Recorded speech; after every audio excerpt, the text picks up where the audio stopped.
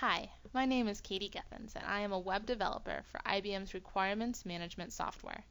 Today, I will give you a demo on three exciting features in our new 401 release. Multi-level traceability, which creates real-time attribute traceability reports to show attributes for linked artifacts. Link preferences, which simplifies the link creation process by allowing the user to specify preferred links for a given artifact type.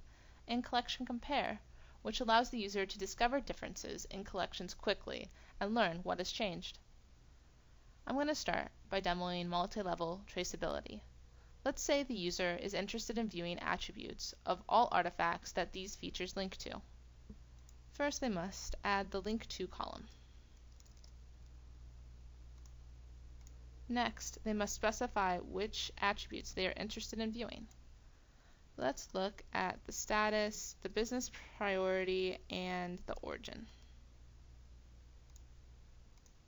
When the link to column loads, you're going to be able to view the specified attributes. Next, I'm going to demo link preferences.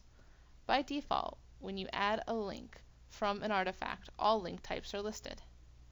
If you'd like to constrain this list for a particular artifact type, you can specify the preferred link types. You can do this by going to the Manage Project Properties menu. First you must select an artifact type and then select a preferred link type.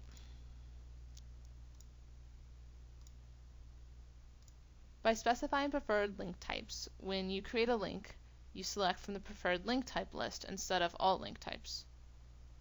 So now, when I create a link from a feature, I can easily create a link of type link to. However, if I want to make a link of a different link type, I can just select the More option.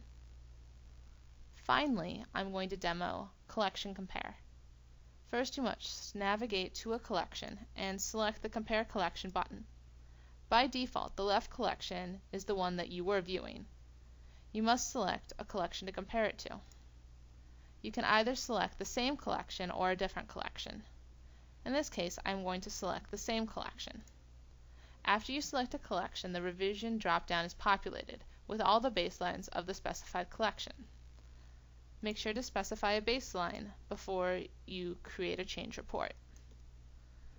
The change report includes several groups of information, including artifacts only in the left collection, artifacts only in the right collection, artifacts in both collections but at different versions, artifacts in both collections at the same version.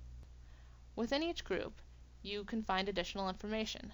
For example, this artifact is in both collections, but the stability, primary text, and title contents have changed.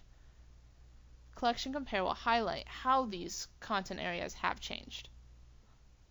This concludes the demos on multi-level traceability, link preferences, and collection compare, which are new features for our 401 release. Thank you for watching.